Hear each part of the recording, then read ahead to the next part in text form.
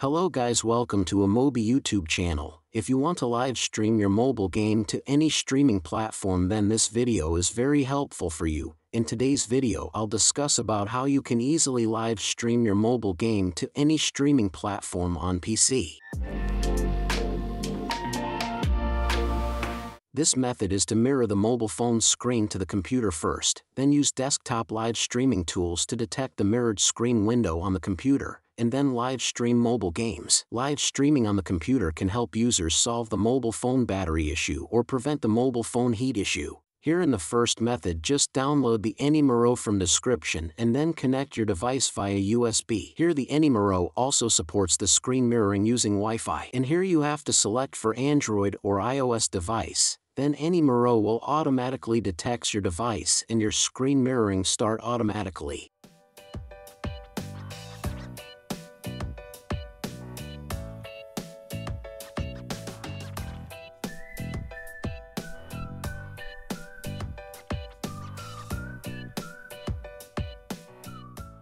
After that you have to download OBS Studio to stream your game. Here click on Add button and select the screen capture option and resize your screen for your gameplay. Then you have to go to the stream settings. Here you have to select the platform.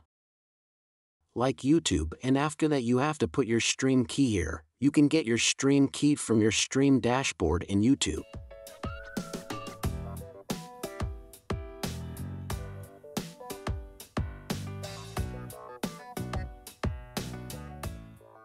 After that hit OK and your stream starts.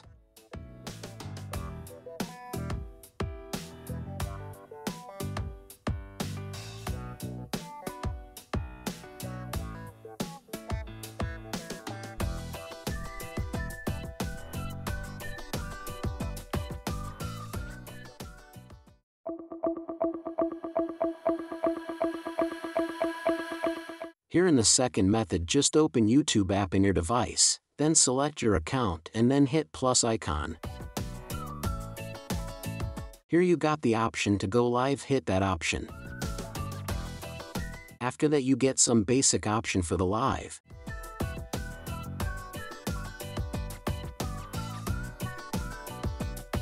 Then hit go live and your stream is now live.